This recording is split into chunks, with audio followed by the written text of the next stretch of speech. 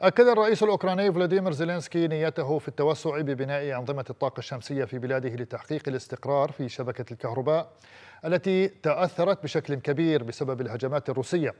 وأشار زيلينسكي إلى تكليف الحكومة بتقديم برنامج على الفور من أجل تشجيع تركيب أنظمة توليد الطاقة الشمسية وتخزين الطاقة في أوكرانيا.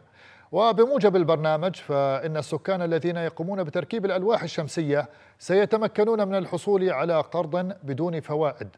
وقال زيلينسكي إنه تم اتخاذ إجراءات لحماية منشآت الطاقة من الهجمات المستمرة التي تشنها روسيا وتم وضع مواعيد نهائية محددة لاستكمال هياكل الحماية.